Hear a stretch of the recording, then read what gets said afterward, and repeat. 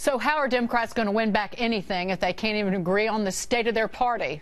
Let me ask. Juan Williams, Fox News political analyst and a columnist for The Hill. Juan, there's nothing grassroots about the party that Debbie Wasserman Schultz was running, where they stacked the deck against Bernie Sanders and were all in on Hillary Clinton, a candidate who everybody, even Democrats, knew couldn't win. Well, so we have to define grassroots because in American politics today, there's so so much anti-establishment type of populism, right? So everybody wants to be populist. Trump. Yeah. Yeah. Trump. There you go.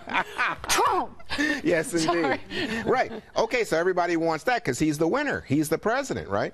But for the Democrats, you got to isolate it. And by isolating it, I think what you come down to is people who voted for President Obama who then switched and voted for President Trump. They're Democrats, often in key states. Wisconsin comes to mind, uh, but you know you could also extend that to Michigan, North Carolina, Florida.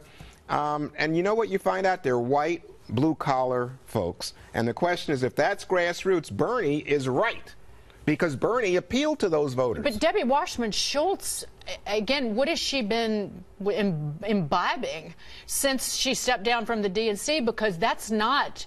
That's not the party that she was running, and that's not that's not how she viewed the voters out there. And is Tom Perez any different than her in Well, the in the role now? This is the question. I think this was what came up in the battle for chair of the DNC is how do you go at it, you know, and, and are they really appealing to the grassroots? Now, the reason I said to you off the top, grassroots is how we define it, is guess what? There's a grassroots Democratic Party that's really more black, Latino, Asian, educated, whites, especially women, who are strongly anti Trump and don't share the values of that blue collar voter who switched from Obama to Trump. And so the question is well, can the party expand its reach and stop dealing in what some people call identity politics, right?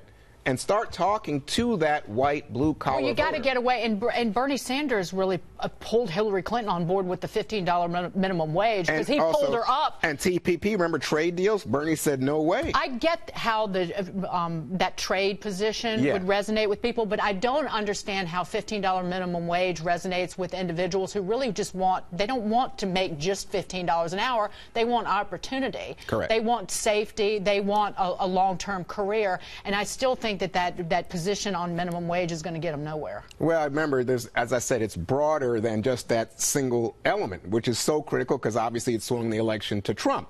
But people do want, I think, some social safety net, and I think a minimum wage that guarantees you what some would call a living wage is part of that. But how is the new DNC leadership with Keith Ellison in the deputy role, who is as left wing as they come? That's not that's not reaching out to that Trump voter by any stretch of the imagination. Well, I don't although know that about they, that, looks but like Perez, Perez was labor secretary, and I think he understands the importance of jobs. And I, you know, you look back.